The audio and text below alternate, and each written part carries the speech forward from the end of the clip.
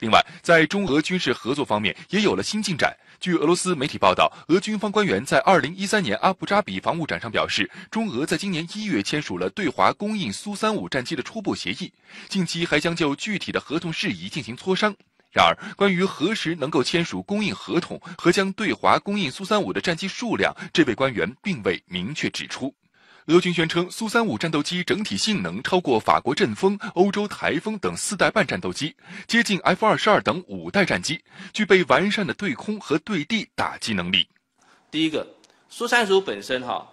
它除了这个前面的雷达比过去更好之外，而且还有一点，它可以装后面的雷达，它现在连后面都可以装雷达。当我后面有敌机在很远的地方开始要慢慢跟的时候，我就已经知道了。这个技术是到目前为止中国大陆它所欠缺的。俄罗斯媒体还透露，有很多国家对俄罗斯 S 四百凯旋新型防空导弹系统表现出极大兴趣，不排除中国将成为第一个海外买家的可能性。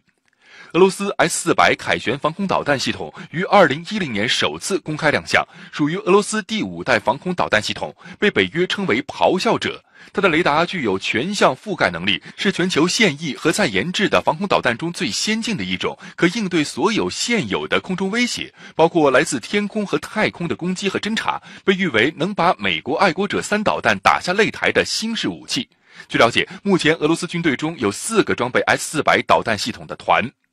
此前，更有俄罗斯方面消息称，中俄双方正在谈判的军售项目可能包括二十四架苏三五战斗机、四艘阿穆尔级幺六五零型潜艇、S 四百防空导弹系统和伊尔七六军用运输机等。其中，仅二十四架苏三五战斗机合同的金额就超过了十五亿美元。预计二零一三年俄中武器贸易合同总金额有可能创新高。那么，俄罗斯推这种这个包括 S 四百、包括苏三五这样的相对新式的武器。呃，它一方面也是就是为了吸引中国，呃，能够采购它的新式武器，来重新巩固自己对华的这种军售市场。俄罗斯不停的放出这样的风声，呃，甚至有一些只是空穴来风的这样的一种传言。另外一方面的考虑是为了吸引，